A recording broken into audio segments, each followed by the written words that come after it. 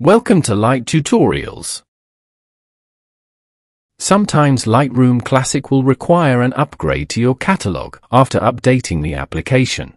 Warning, you will not be notified beforehand. Once Lightroom has updated, you will not be able to enter Lightroom to back up your catalog without upgrading the catalog first.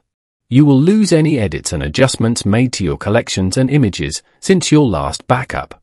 Tip, when you have Creative Cloud Desktop downloaded to your device, it will advise you when you have a Lightroom Classic update. This is a good time to back up if you have not already done so.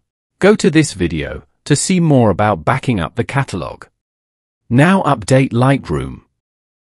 When the update is complete, open Lightroom Classic. A pop-up window will appear with options for upgrading your catalog. It will suggest a catalog and where an upgraded and compressed version of it will be stored. It is wise to check which catalog it is selecting to be sure it's the one you want to upgrade. Hover over them to see the full location. To find out more from Adobe about catalogs and how to rename them, click on these links. Then there is a warning that the upgraded catalog will not be compatible with previous versions of Lightroom Classic. If you are happy with the selected catalog, then click on Upgrade. If not, either exit and nothing will happen, or choose a different catalog.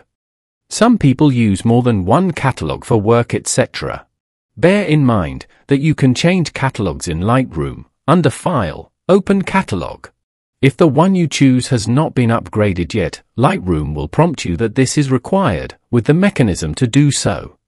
At the bottom you can select that your chosen catalog for upgrade will open on startup. Testing integrity checks for catalog corruption and reduces the risk of data loss.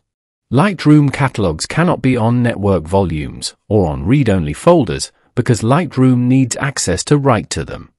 You could select a catalog from the list, click on Open, and you will be brought back to the previous screen to upgrade.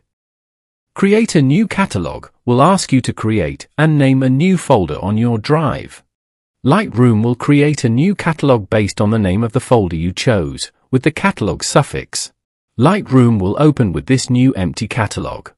Choose a different catalog will open up your File Explorer or Finder for you to choose yourself. We will now upgrade with our chosen catalog. This may take some time, depending on the speed of your device. Lightroom Classic will then open up automatically, with your chosen catalog displayed. I hope this helped you. Thank you for watching.